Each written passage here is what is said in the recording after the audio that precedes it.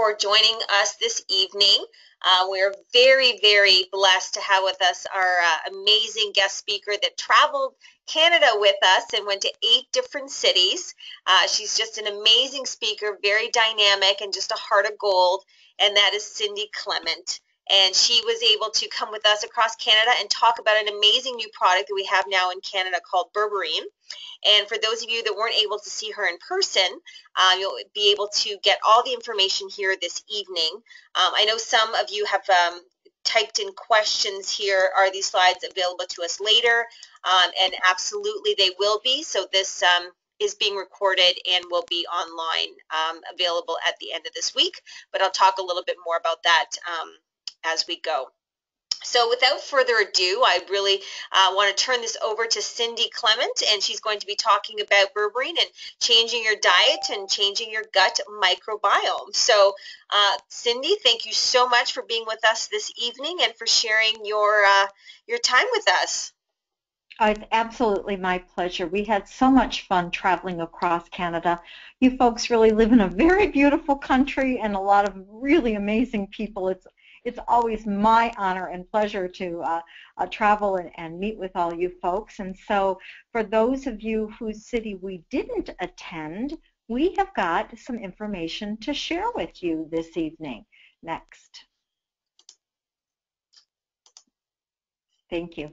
Um, here we're looking at a slide that talks about global trends, global trends in health. And what I've been saying uh, week after week is this really isn't a health trend. What we call this is an ill health trend.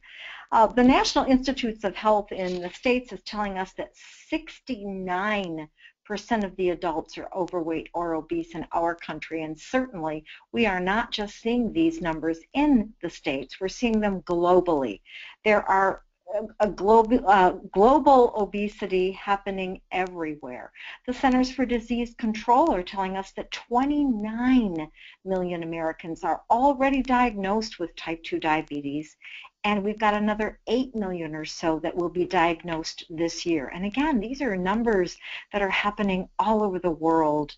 And lastly, as we, as we talk about cardiovascular disease, here, the American Heart Association tells us that someone dies of cardiovascular disease every 43 seconds. I mean, folks, when you start to think about how many people will die just this hour that we're talking tonight of cardiovascular disease, the numbers are just astronomical. Next. And what we're looking at here is um, uh, kind of an example of what the problem is. And the problem is, is that in the past, Western medicine has focused kind of where the blue sky is and on that tree. So for instance, you go to uh, a physician or a clinic and you say that, you know, I've got hypertension and they say, well, you know, I've got a, I've got a prescription drug for that. Or I've got a thyroid issue. Well, I've got a drug for that. And I'm anxious and I've got a drug for that. And the problem is, is that Western medicine has not been trained in holistic medicine. So I will give them that. I mean, they, they have not been trained. And really, there's very little money for pharmaceutical companies in selling herbs. I mean, they make a lot of money. My granddaughter, she's five months old and she's extremely ill right now, and uh, her parents filled a prescription that was over $300. You know, you can get a lot of herbs for that. And so the pharmaceutical companies aren't really excited about developing uh, a, a, a plant medicine because again the cost. So here we're looking at a, a picture here where we've got Western medicine focusing on the top and they are they are writing prescriptions for this stuff. But where most of you in this group and most people in Nature Sunshine, we are looking at the root cause. So If you look down and, and well, let's say somebody came to us with depression, we would ask them some of these questions like, what is your diet like? And how is your sleep? And what are your relationships like? And is there a lot of stress in your life? And what is your digestion like? Do you exercise? And so instead of just, you know, um, um, looking at them and just trying to find an herb for them, we really might use the herbs as a band-aid, right? But we've got to build their nutrition. We've got to get them to reduce the stress in their lives. And so Western medicine is now starting to realize that we've been doing it right all along. And they are now teaching physicians, both here and in Canada and around the world, about integrative medicine. And so integrative medicine or functional medicine is trying to marry the two of these, these um, uh, outlooks on health together, which I think is amazing. Uh, next.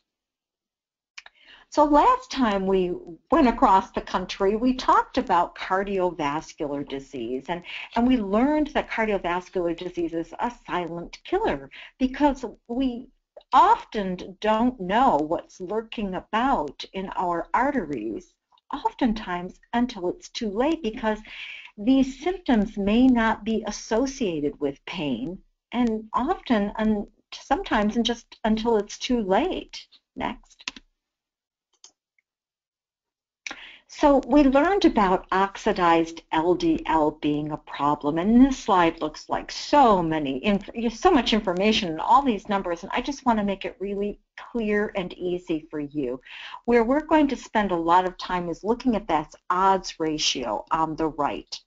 And I want you to understand that if the number is 1, that means there's no risk. Okay, so for instance, if you look under total cholesterol and you see 1.2, really it, it honestly means there's extremely very little risk in that. But let's look at this slide so that you have an understanding.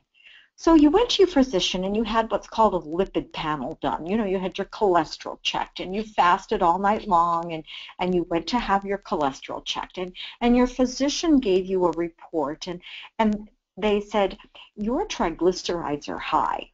Well, if you look over in the odds ratio, that means that you have just over a two times greater risk factor of having a cardiovascular event than someone who doesn't have high triglycerides. And then we go to total cholesterol, and the, the physician says, well, you know, your, your cholesterol's high. Remember, one means no risk. So total cholesterol number is not a number that we really give that much credence to. We don't really pay much attention to that because it doesn't really predict disease as well as, as it used to. So we look at high LDL. Now LDL stands for low density lipoprotein cholesterol. LDL is considered the bad cholesterol. So if that's high, the bad cholesterol is high, okay, well, not even a two times greater risk. So now you're going to start to see what really does matter, and what matters is your good cholesterol. So HDL stands for high density lipoprotein, and the little c is for cholesterol. That's your good cholesterol. So if your good cholesterol is low, now look over at that odds ratio you now have over a six and a half time greater risk of having a cardiovascular event. And by an event, I mean that could be a stroke, a heart attack, aneurysms, you know, all of those types of things. But here's where it gets really interesting. Previously, we were told that all cholesterol was bad, and then a distinction was made between the bad cholesterol, LDL, and the good cholesterol, HDL. But now science is really looking at something called an oxidized cholesterol, being the more damaging of all these cholesterols. So now we look at if we have oxidized LDL, folks, look, you have an eight times greater risk of having a cardiovascular event. And if you have oxidized LDL and your good cholesterol, the HDL, is low, this is where the problems come in. Now you're at a 14 times greater risk of having a cardiovascular event. So we have to figure out what we're going to do about this next. So this is a, an interesting chart, and it's, it's showing us about uh, the World Health Organization. So the World Health Organization looks at every country and, and it looks at the prevalence of disease. And what they're telling us is, of course, that heart disease is the leading cause of death around the world. And if you click again, Rancha, we're going to see that 80% of those with diabetes will actually die of cardiovascular disease. So diabetes is something that we really have to, to pay attention to as well. So next, the latest news now, and this is what we're going to focus the majority of our, our webinar on this evening, is that the latest research is confirming that your diet does affect what's called your microbiome. And the microbiome, oh, they call it the ecological community, they call it the um, ecos eco-intestinal system. I want you to think of it as the balance between the good and bad bacteria in your body. And so the research is showing us that how we eat determines what our bacteria uh, diversity and abundance will be in our bodies. Now, we kind of knew that already because when we're working with someone with candida yeast, we know that there's an overgrowth of fungus in the body. So we kind of already know that diet plays a role in this, but we're going to look at this a little bit closer. So again, the microbiome is big science. Next. So here you're looking at um, uh, a very um, prestigious medical uh, university in the States, and it's Pennsylvania State University. And right on the cover of their magazine, they're talking about microbiomics. And they're saying, is it the next big thing? And I'm going to tell you folks, it is. You may be learning something tonight that your physician isn't even aware of yet because this is, this is cutting edge stuff. And this is where all of the research is now focusing. And, and I've been looking at this um, very, very closely, and I find it just one of the most fascinating topics ever in Western medicine. I'm just really enamored with it. So, but what I want you to know is it's not just in natural health. You know, we've been talking about cleaning the colon, and we've been talking about cleaning the liver, and you know, the the gut microbiome. Although we didn't call it that, we called it the good and bad bacteria. We've been talking about that for 50, 60 years, but now all of a sudden medicine has realized, hmm, well, maybe those people do know a thing or two. Next. So this is kind of an animated slide, and what it's going to show you is the effects of what we call the poor food choices. And how this works, if you click again, you'll see that the healthy food, of course, that the healthier plant foods that we eat the better bacteria we have in our body. And likewise, if we click again, we're going to see that, of course, the bad diet leads to an unhealthy balance of bad bacteria in the body. And if we click again, we can see that once this bad bacteria gets in charge, all kinds of things happen in the body. Our health declines. There's inflammation in the body. We have toxicity. And so it sounds rather simple, like, okay, well, all we have to do is change our diet, right? So next. Well, we know that it's not simple, right? People decide their habits. And then our habits are going to decide our future. So tonight as you watch this webinar and maybe even after we finish with the webinar, I want you to actually think about the next time you go to eat something, how is your habit, your eating habits or your exercise habits or your whatever kind of habits you have, how is that going to affect your future? Not just the now, but the future. So what we have to realize is that we have to transform what we call the impossible. Oh, I can't do that. That's impossible. I can't eat that way. I can't exercise. We have to change that way of thinking from impossible to possible and from unattainable to attainable. Next. So here's where we're going to look at this a little bit closer. We now know that our diet is intimately linked to our gut. These poor eating habits create inflammation in our gut. Now the inflammation then leads to this microbial imbalance. We've got more of the bad than we should and less of the good bacteria. But that mess also doesn't allow our bodies to use glucose and insulin properly. We're going to describe exactly what that is so you'll understand it completely. It also creates this free radical damage in the body, which where it says on the slide the rampant oxidation.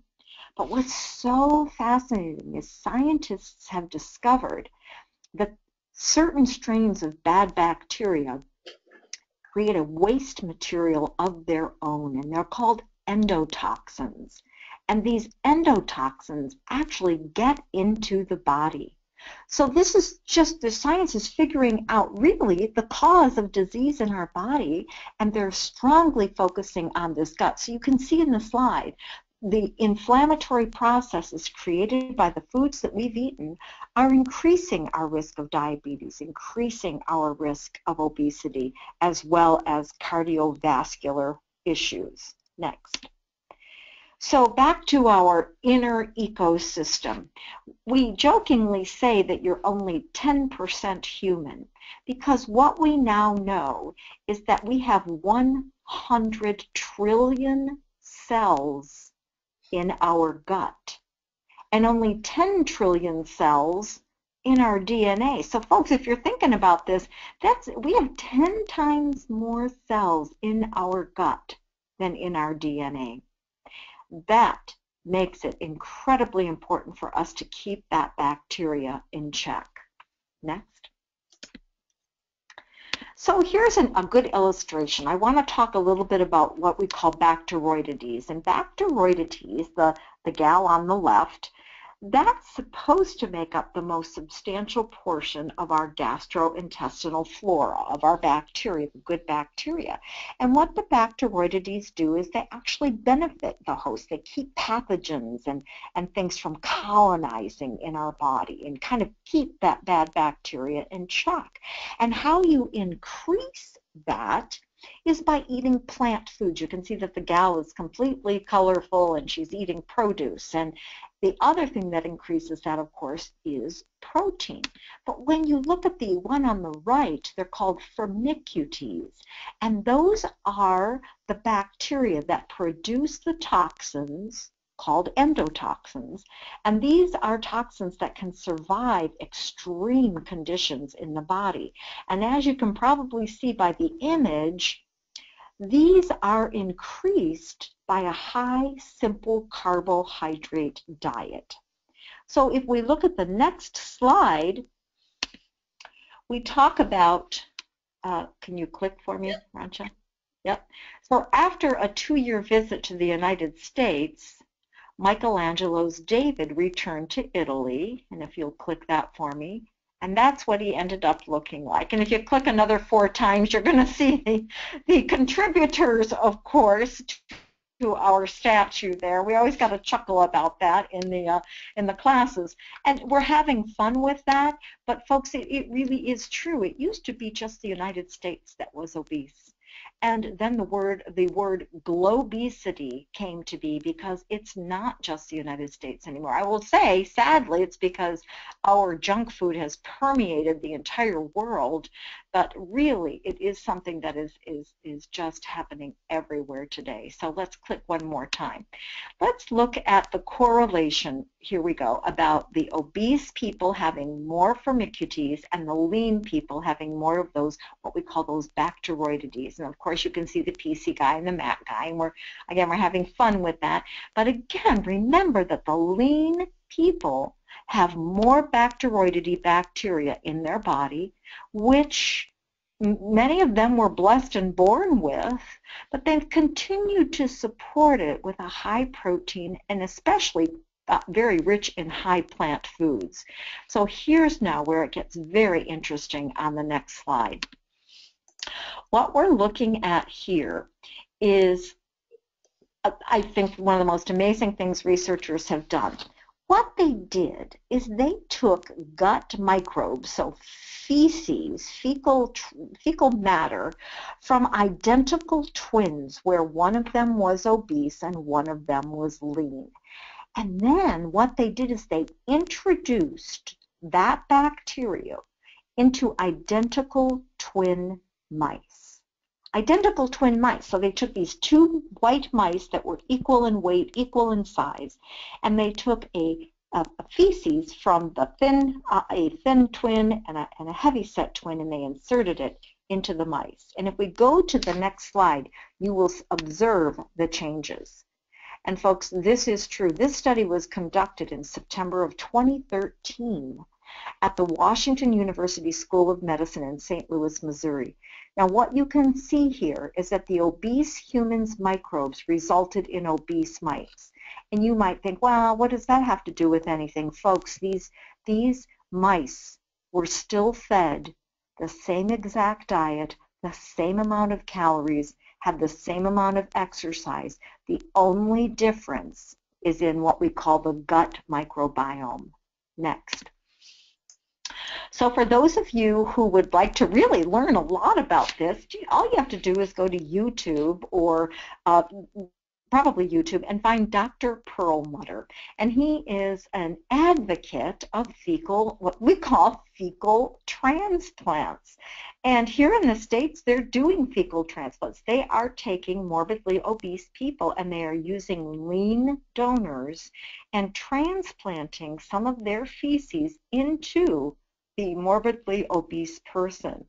Yes, it's $3,000 a treatment, and it takes quite a few treatments to do this, and they're doing it at three different clinics, or actually university hospitals around the U.S., but the results are just absolutely phenomenal. Now, what I say is for $3,000, I can get a whole lot of good food and a whole lot of um, herbs and, and vitamins. So I think I'll pass on the fecal transplant. But I want you to understand that this is really out there now. And boy, they thought that that uh, the herbalists were crazy, right? So next, we need to change our diet if we're going to change our gut microbiome. So you don't want that fecal transplant. We've got to start thinking about what can we do to change our diet in order to improve our gut. Because remember, food produces inflammation. The inflammation creates that whole insulin and glucose uh, dysfunction in the body. And so this is kind of where we have to start with what goes in our mouth. So go ahead, Rancha, and go to the next slide. This is a visual, and I like this visual because it, it kind of explains that whole endotoxin thing. So remember, if we have an overabundance of bad bacteria in the body, this creates that waste material called an endotoxin. And what that endotoxin does is it creates inflammation. Now, if you look if you take that inflammation, take your eyes down to the bottom right-hand side of the slide, and it talks about the gut toxins, and that's where we're going to start. If you look beneath that, that is supposed to be um, an image of our, it's called our, our intestinal barrier. It's the wall of our intestine. And what inflammation does is it makes that wall leaky, leaky. So you've heard of leaky gut syndrome. Endotoxins can make that gut through inflammation leaky. Now, that little green blob there is supposed to be the endotoxin.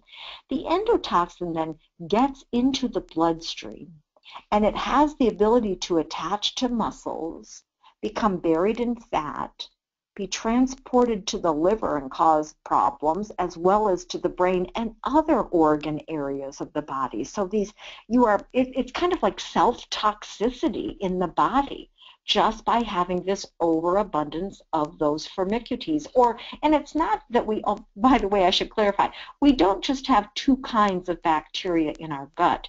Researchers have now um, um, they're actually studying the microbiome and they're trying to analyze how many different kinds of bacteria we have. And so far to date, they're saying that the minimum they've ever found in anyone was 400 different kinds of bacteria. Um, and the most they've ever seen was 6,000 different kinds. So we're talking lots of diversity there. But the two main ones that inhabit our gut are the Bacteroidetes and the Firmicutes. So now, let's go back to our slide. So we look at inflammation, and you'll see now that it leads to insulin resistance and metabolic function. And we'll talk about that in just a minute, if you want to go next. So here's what they did they took people that were healthy, healthy subjects, and they had them eating the Western, you know, the standard American diet, the Western diet for one month only, folks, one month. And they increased the endotoxin levels in these people's bodies by 71% in one month. I mean, that is just phenomenal to me. I mean, to think that we can destroy our bodies in, well, say like a, a six weeks time, we can completely change our gut. And when they took the unhealthy people and they introduced a healthy diet, they were able to reduce the levels by 31%. So this means it's going to take us three months at a minimum of being really cautious and conscious of what we're eating in order to change our gut. So I always ask people, can you commit to just uh, one month of eating well, just one month out of your entire life, I think we probably all can do that if we put our heads to it. So let's look at the next slide. And you'll have to click this four times, Rancha, for me. This is just a few of the slides that talk about uh, the research projects that have been done showing the studies that have been done on the endotoxins and how it relates to this whole insulin resistance, you know, obesity, and the blood sugar stuff, and science is all tying it back to the gut microbiome as the underlying cause of all this dysfunction in the body. And on the next slide, you'll see a two, uh, 2014 study where researchers took something called berberine. Now, berberine is not an herb. Berberine is a, a piece of an herb. It's a, it's a compound. It's a constituent of a plant. It's kind of the medicinal part, uh, one of the medicinal parts of a plant. And they they isolated that and they used it in their research and what they showed is that it can reduce the binding of the endotoxins and can block inflammation. So folks, that's pretty interesting that they're, they're really looking long and hard at plant medicine. Next. This was a really interesting study, and this is one where researchers found that when uh, those with type 2 diabetes were on antibiotics, the person's blood sugar numbers improved. And while they were scratching their heads trying to figure out what that was all about, they also realized that type 2 diabetics that took probiotics, their numbers improved. So again, this all tied them right back to that gut bacteria, realizing that when you take an antibiotic, it kills all bacteria in the body, the good and the bad of course, it leaves a fungal presence there, but um, that's what it does. And so, of course, it would improve their numbers because we're talking about that bad bacteria. Likewise, when someone takes a probiotic, the good bacteria, of course that's going to improve the numbers in type 2 diabetes because now they're populating more of that Bacteroidetes. So in the next slide, I'd like to explain what happens, I usually use my hands to do this, so I'm going to try and do this with my eyes closed so I'll, I can get, give you the, the picture.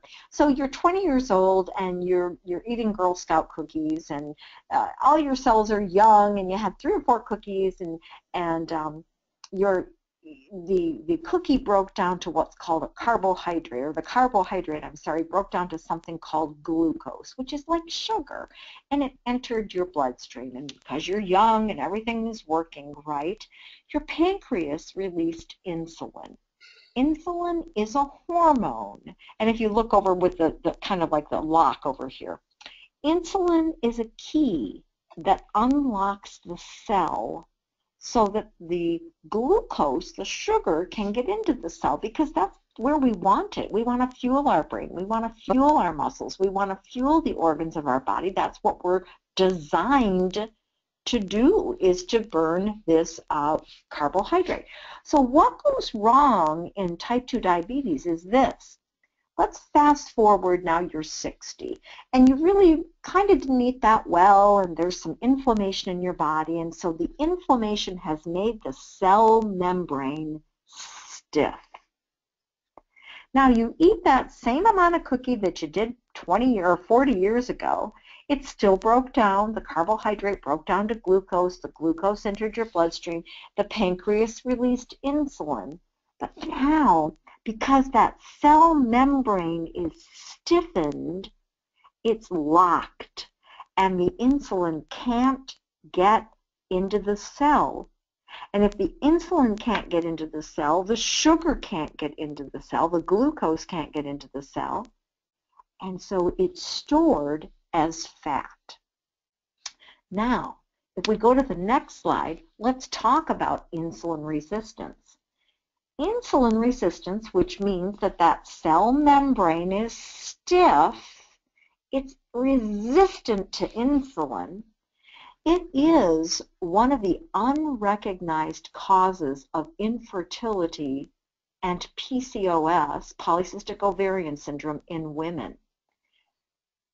PCOS is not an ovarian problem, it's an insulin problem. And what happens when women are insulin resistant after it has gone on for a very long time, they will start to grow facial hair while losing the hair on their head.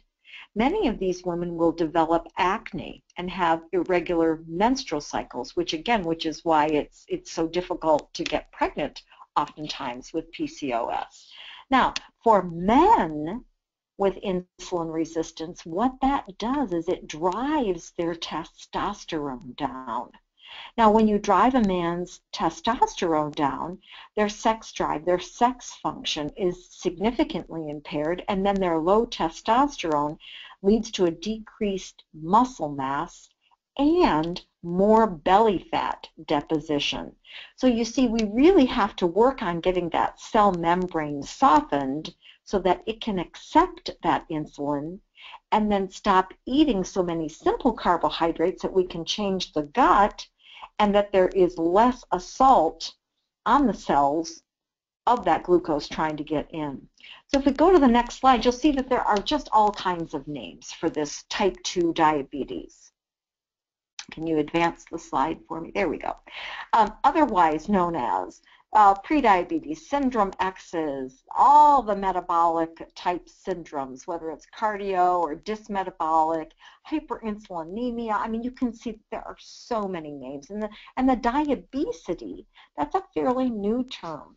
And that was, that was actually designed by a physician in Los Angeles working with pediatric diabetes or diabetes. Can you imagine? There is a department now dealing with diabetic children. What we do know is that one out of three children born after 2010 will become diabetic in their teen years.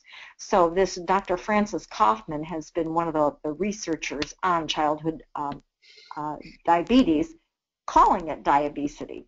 So next slide dia diabesity is you're resistant to insulin. Now this is different than uh, so diabesity, uh, type 2 diabetes, metabolic syndrome, again, it's all the same thing. But this is very different from type 1 diabetes. Type 1 diabetes usually occurs, it, we call it juvenile diabetes, it usually occurs young, uh, you know, early in life.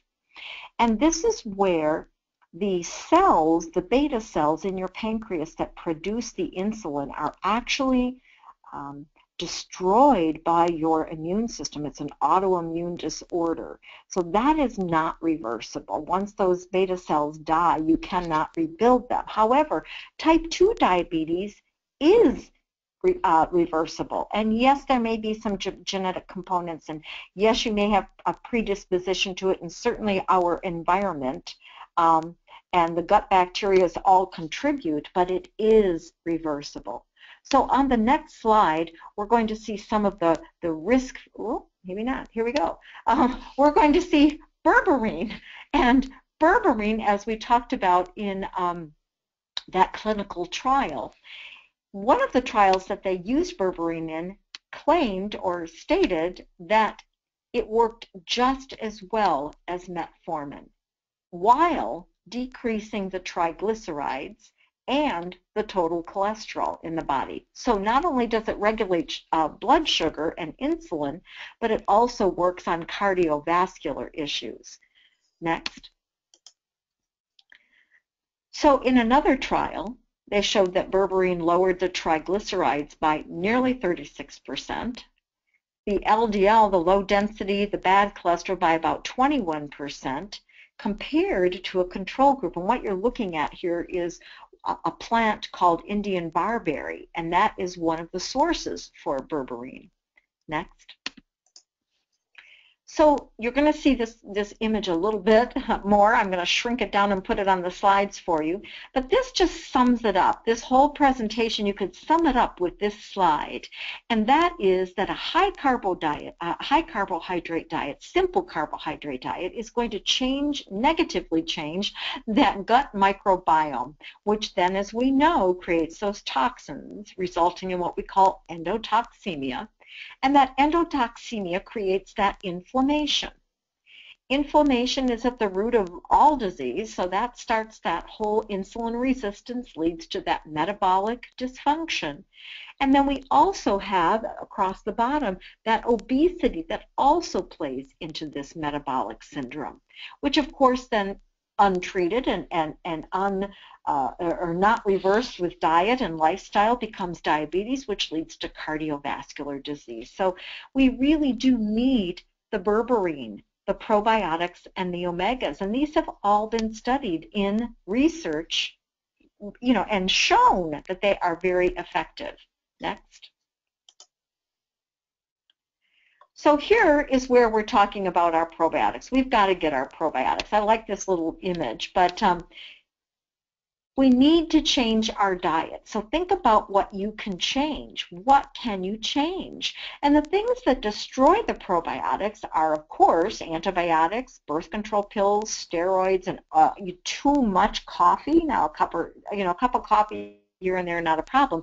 But I've had clients in the past that have had 16 cups of coffee a day. Well, that's a little excessive. Um, uh, drinking um, uh, too much, um, uh, too many acidic beverages and sodas and, and sugar imbalance, all of these things um, really do affect the probiotics. And on the next slide, we're going to see some food sources of probiotics. So as you look at this and you say, okay, got it, you know, I do like kefir, I like yogurt. Now the sauerkraut, folks, it has to be raw sauerkraut. So this can't be something that has been canned. And if it is in a jar, it has to be in the refrigerated section of the store for it to be raw. If it's just sitting on the shelf in a can or in a jar, it is not raw. Because high heat kills most of those good bacteria. So we're looking at this and we say, okay, kefir, yogurt, sauerkraut, coconut kefir, kombucha, Kvass, which by the way is a Slavic beverage made from fermented black rye bread. Isn't that interesting? And the natto, the Japanese just use soybeans and they put a probiotic on it called bacillus and they let it ferment and that is one of the things that they eat. And so raw cheese is picked pickles, kimchi, there's all kinds of things that we can do. But when you look at that list, ask yourself, do you really consume all of these foods every day or do you even get any of them every day? Remember, we've got a whole lot of reversing we have to do in that gut to get us back to health. So next. We're looking at omega-3 fatty acids. I briefly mentioned that we need to soften the cell membrane. And one of the things that omega-3 fatty acids do in the body is exactly that. They soften the cell membranes. So we're looking at this slide and we're seeing that a number of these things have to do with cardiovascular. So triglycerides, arrhythmias, you know, blood clotting, inflammation, high blood pressure. But the omega-3s are also used by our brain, our joints, our nerve sheath, of our eyes. I mean, many, many areas of our body rely on omega-3s. And as it relates to this lecture, we're thinking about how we need them to soften that cell membrane. So on the next slide, let's take a look of where do we get these omega-3 foods? We've looked at our probiotic foods. Where are we getting our omegas? Um, remember, if the omega-3 is making that cell membrane more fluid and more flexible, that helps it to be more receptive to that insulin and glucose getting in. So we look at the slide and we say, okay, well, I'm going to tell you you need between mm, 3 and 8 grams of omegas a day. And again, that that varies with everyone, but as a, as a rule of thumb, um, three to eight So you say, well, okay, I'll do two tablespoons of flax seeds every day, and that'll give me three. And then I'll have a quarter of a cup of, of walnuts every day, and that'll give me two. And yeah, you can do that. But folks, really, are you going to do that every day for the rest of your life? And there might be someone out there that does, and God bless you. I mean, if you can do that every day, I like my diet to be a lot more varied. So for myself, I just don't get as many of those omegas that I would like to get. Now, flax and walnut and sardines top the list, and yes, there's also salmon and soybeans, but again, where are you getting at least three grams a day? And we're looking at that little diagram, and we say, okay, I've got to get berberine, I've got to get probiotics, I've got to get omegas. So let's go to the next slide, and likewise, we, we, we know we're not eating enough of the probiotic foods. Can we have the next slide? There we go. Um, we're not getting enough probiotic foods. We're not getting enough of our omega foods. And likewise, we're not eating berberine. This is this is another berberine plant. Remember, this is, is it's not a the name of a plant. It's found in golden seal. It's found in prickly poppy, um, something called Oregon grape, Chinese golden thread, California poppy, Indian barberry, tree turmeric is Indian barberry, but this is an amazing, amazing plant, and we're certainly not eating that on a daily basis to get what we need for our little chart. Next. And on this slide, we'll see that, my goodness, we're not eating bergamot either. Bergamot is a special kind of orange. It's actually a sour orange. It looks more like a, a, lumpy lemon than an orange. But bergamot has been shown to dramatically lower triglycerides and the bad cholesterol while raising that good cholesterol. It also has the ability to lower fatty deposits in our liver and in our pancreas, and it helps us support our healthy uh, glucose levels in the body. So I'm not getting bergamot anywhere, and I'm pretty sure you aren't either. Next. On this slide, we're noticing CoQ10. So these are all the important things that we need, and I'll say after the age of 40, truly, this is when we need all this stuff. And this is a great illustration because it shows us how the CoQ10 levels, they actually decline the older we get. And we say that our production peaks at age 20. But if you look, by age 80, for instance, our heart only has about 43% of the CoQ10 that it had when we were 20.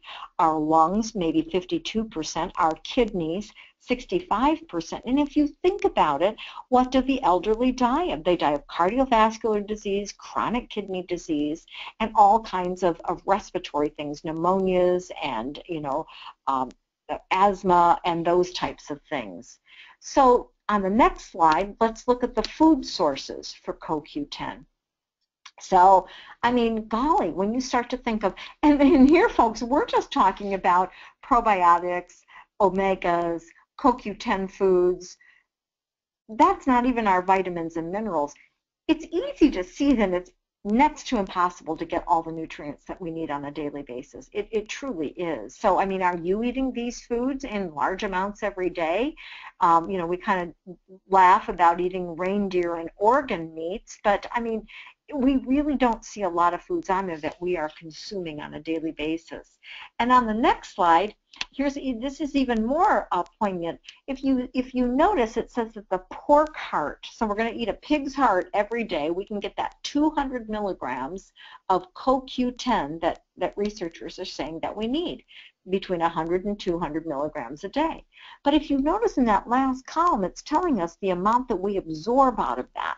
So CoQ10 is not necessarily highly absorbable out of the foods that we eat. And that's because our liver makes that enzyme. Our liver is responsible for making that enzyme. And that enzyme, it's CoQ10, coenzyme Q10, that's responsible for providing energy to the body, for protecting the cell membranes.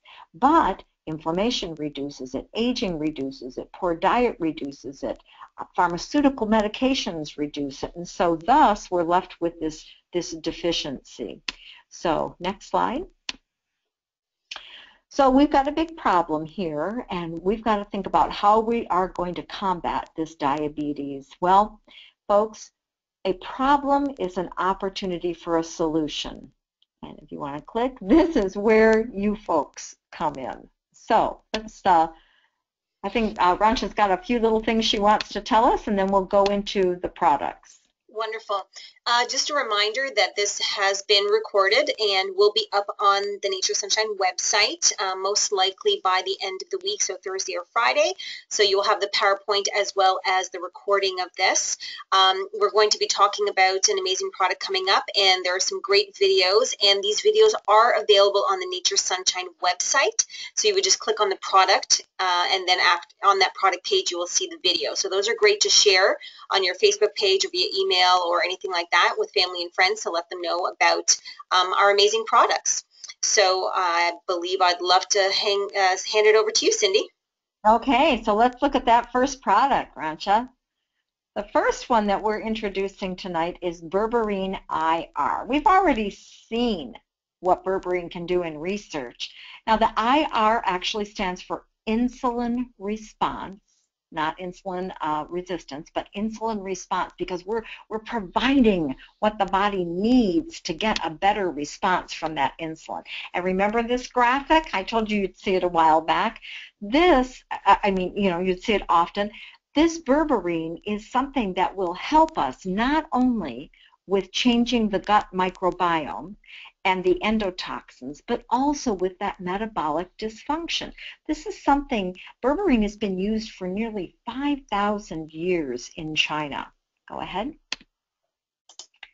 So you can see that it's going to be a perfect companion for whether you're doing a, a, blood glucose, you're trying to get your body to utilize glucose and insulin effectively, if you're on a detoxification program, a cleansing program, whether you're on a weight loss program, berberine is something that can help with all of those uh, issues or challenges in the body.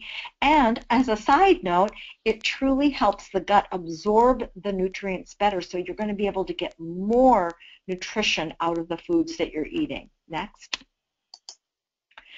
Also, remember, we talked about in the research how it can help inhibit the binding of the endotoxins to that muscle cell. So we've kind of got that little graphic there on the right so you can see that this product does so many things in the body with just one capsule three times a day before a meal. That's really what it's all about. It, it, so if you look and there's 90 capsules in that bottle, that's just a month's supply to uh, really start changing that gut over. Next. We also have to remember, though, that we can't just start taking berberine IR and keep eating the way that we've been eating. Remember, those high carbohydrate diets negatively change that gut microflora, increases the um, that produce those endotoxins. So we really have to not only just use the product, but also make that lifestyle change. Um, remember, those endotoxins get released into the bloodstream and they're interfering with that normal glucose metabolism. And so again, we want to do more than just take the product. We have to change the diet to change the gut because it's the gut that's getting us in trouble with so many things. Next. We talked about probiotics. Probiotics are used in so many different areas of the body uh, of course, in the intestine, in the digestive system, our immune system. They help to eliminate toxins from the body.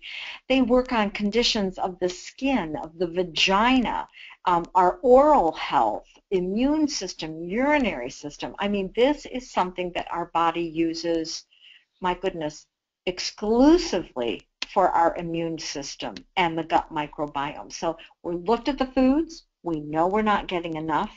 We need to start supplying our body with additional um, probiotics, especially while we're on that path of changing our gut microbiome. Next. We talked about how important the omega-3 fatty acids are. Now remember, when something is called an essential fatty acid, and super omegas, the omega-3s, are an essential fatty acid. What that means is that it must be supplied through diet or supplementation. The body cannot make it. Now, these days, it's very well known that women who are pregnant are now being uh, told to consume omega-3 fatty acids because we know that it helps in the brain and eye development in the infant. So these are really powerful. Almost all infant formula today has essential fatty acids in it. So if, if they're supplementing it, why aren't we, right? We've got to get that cell membrane softened again. Next. Also remember that these omega-3s reduce the risk of cardiovascular disease. They help our structural system. They lubricate our joints. They keep our skin from cracking in these uh, dry winters uh, with all the furnaces running. That again, feeds our brain, our eyes, softens our cell membrane. So those three things are so important for a 90-day program. Let's go next to the next slide. Here's my challenge. Here's my call to action for you. I want you to really seriously consider doing this for 90 days. And why I say 90 days is if you recall back to when we talked about adding in a prudent diet to those people with that compromised gut bacteria. Recall that in one month's time, they could improve that gut bacteria by about 31%. Thus, it's going to take you 90 days 90 days to change that gut bacteria in order for you to see the real full changes in your body. So if you got a bottle of berberine each month for the next three months and you got a bottle of, of uh, the acidophilus bifidophilus and you got a bottle of the omegas and you got one box of clean start. Now, I threw that one in there because we really talked a lot about that at convention and last November when we when we were doing our tour across Canada. Clean Start is a program that has 20, it's, it has 28 packets in it. It's designed as a 14-day program. But what I like people to do while they're undergoing this 90-day challenge, as I call it, I like them to just take one packet of the Clean Start every night at bedtime. Thus, it will last the entire first month of your 90-day program. Well, the first 28 days anyway. And we don't want to take that with our omegas because of the fiber and, and the bentonite will act in the Clean Start product will actually kind of absorb that omega-3 and it won't get into your body the way you need it. So if you take that clean start at bedtime and you start cleaning out your colon and you're taking the berberine and that's working on killing the endotoxins and it's and it's it's it's increasing the good bacteria and doing a number of things for the glucose and your weight management program and then you add in the bifidophilus I'm sure you could see that this is an amazing program to really reduce the inflammation detoxify indirectly help you with weight loss cleansing new gut health regulating blood sugar this is my challenge to you folks. I'm telling you, commit to just 90 days. Just 90 days. Uh, and the next slide. So once again, and you want to click it, remember this slide. We've got to support the cardiovascular system while we're working on increasing our blood sugar and things like that. So on the next slide, what I'm going to show you is if you're over 40, I highly recommend, we've already got the super omegas on the right, but if you're over 40, I highly recommend that you add that CoQ10 and the cardioxin. now we've talked a lot about the CoQ10. We know that as we age, the numbers decline, and we also know that the Cardiox is, well, we don't know. I think I'm going to tell you about that, actually, as I think about it. The CoQ10 is something we absolutely have to add in after the age of 40. There is a huge decline. That's cardiovascular health. That's energy for the cells. That's energy for you. You need that energy. So let's look at why we need to put Cardiox in. If we can hit the next slide. So Cardiox is, a Cardiox LDL is that bergamot orange. And what it does is this particular product reduces the um, oxidized cholesterol, the, the bad cholesterol, if you will, and increases the good cholesterol. On the next slide, you're going to actually see the label. And this is what makes this formula so amazing. It's a proprietary blend, meaning nobody else has this, just Nature Sunshine. And these proprietary blend, these plants were added in to enhance the action of the bergamot orange. So this proprietary blend is, I like to call it the secret in the sauce. It's kind of the sum total of everything together in the formula that makes it so effective. Others can't provide this. Um, it's a proprietary product, only Nature Sunshine has it. And in order for them to build this product, create this product, they took live cells and watched them under a microscope to see how they would respond to this different combination, how they could make that bergamot orange be most effective in the body. Next slide. So this is a, a very unique blend, but along with working on the cardiovascular system, it also helps with the blood glucose levels, the insulin levels. And I want you to notice that at the bottom of the slide, they're talking about a um, a, uh, what was it called? A web link, and it says Bergamot Science. Whoop, we went ahead one slide. Can you go back one slide, Rancha? There we go. Um, on the bottom of this slide, you'll see it says bergamotscience.com. That's a third-party website that you can visit that won't have Nature Sunshine anywhere on it, but it will actually help show you the science and how this product is so effective. And you can copy that link and send it to people, and they can read all about the research, and it's, it's really quite interesting. Okay, next to CoQ10. So again, CoQ10, the University of, of Maryland recommends CoQ10 um, for most of their patients because they know that pharmaceuticals deplete it in the body. Um, any pharmaceutical used to reduce cholesterol or high blood pressure or any uh, antidepressants that are consumed, that can lower the CoQ10 in the body. Next. So remember this little graph that showed it how it declines with age? CoQ10 not only supports, you know, the heart and the kidneys and the lungs, but also the liver, the pancreas. I mean, it really is system-wide, and it's going to take you a good 4 to 12 weeks, again, another three months for you to really experience that energy that you're looking for. Next. So the, the dosage is one capsule twice a day, and remembering that your CoQ10 peaks at 25, and as they say, it plummets at age 40. We've got to make sure that we keep that level high. Um, they say that it's anti-aging in a sense, and I think I, I, just have a really quick little story. I know we're running out of time, but I want to tell it is my granddaughter, I'm 63 years old, and my granddaughter knows that I'm a very energetic grandma, and um, I went out to San Diego to visit her, and she was just so delighted to see me and ran and jumped into my arms. She's nine years old, and she says, Grandma, Grandma, I told my friend that you were coming today because she lives in San Diego and I live in Michigan, so it's always an event. And she said, and Grandma, my friend asked me, is your grandma old and wrinkly? And Grandma, I told her, she's not old and wrinkly. She's young and wrinkly. And I got such a big kick out of that. So, you know, I'll take young, young and wrinkly anytime over old and wrinkly.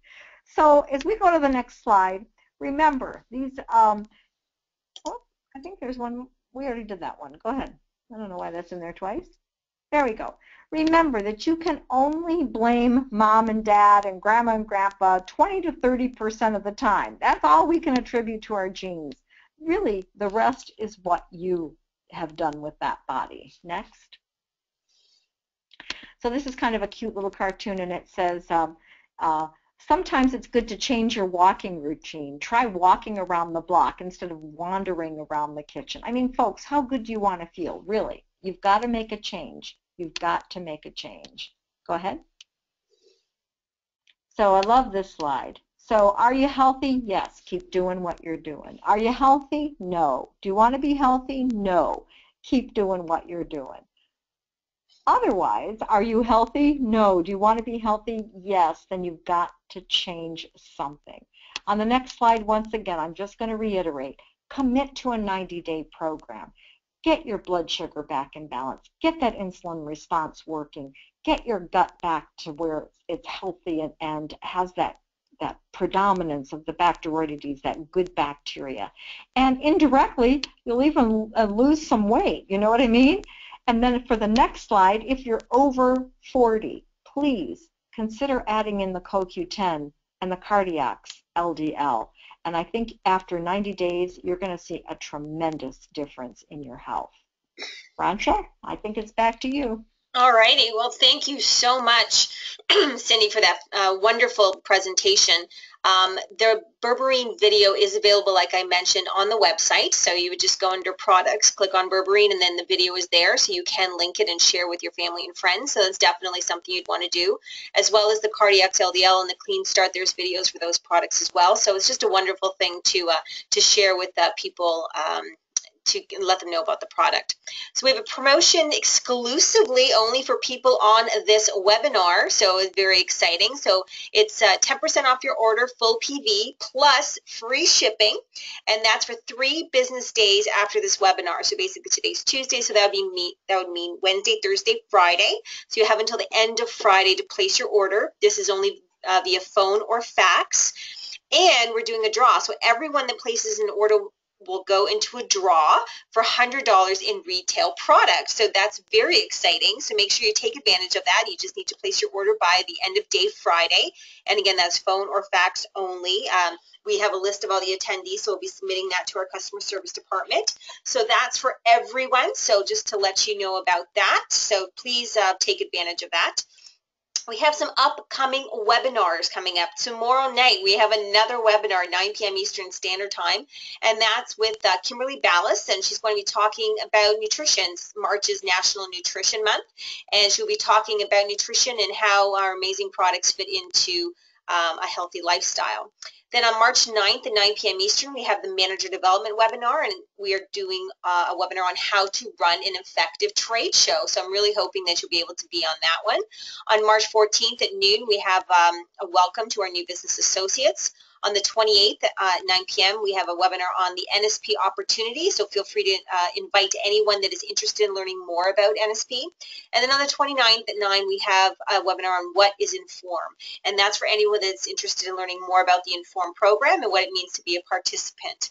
Um, so really excited about all these great webinars, so definitely put them in your calendar and take advantage of them. So this is the promotion. Today is, um, we are in the month of March. and uh, this is the promotion for the month of March, and that's for joining the business, uh, business associates. You have the different levels there, and the product for this month is chlorophyll, uh, chlorophyll liquid chlorophyll. So make sure that uh, you are sharing that with everyone.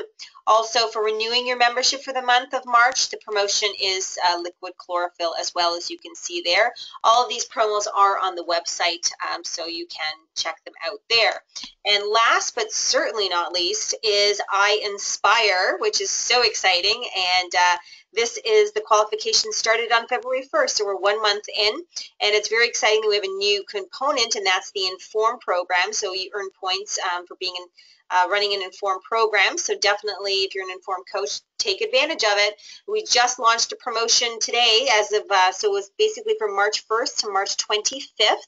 Uh, we're offering double points for Sunshine Rewards uh, enrollees. So when you enroll someone in Sunshine Rewards, you're going to get double the amount of points towards I Inspire. So that's just from March 1st to the 25th. So you definitely want to take advantage of that. Uh, very excited about uh, that, and we're excited about this amazing uh, uh, promotion that we have for 2016. So again, I just want to thank Cindy so much for your time this evening. Again, this was recorded and will be put on the website uh, so everybody have, has access to it. Uh, so again, thank you so much for your time. Uh, I hope to we have, uh, you know, the people that were on here on tomorrow's webinar with uh, Kimberly Ballas will be uh, another fantastic evening. Um, but again, thanks everyone for your time. Thank you, Cindy, for uh, thank you, thank you, everyone. Yeah. You wrapped it up from beginning to end. We started live and you're finishing via webinar, so truly appreciate your time here with us this evening. My pleasure, always. All right. Well, thanks everyone. Have a great evening, and we will talk to you soon. Bye-bye.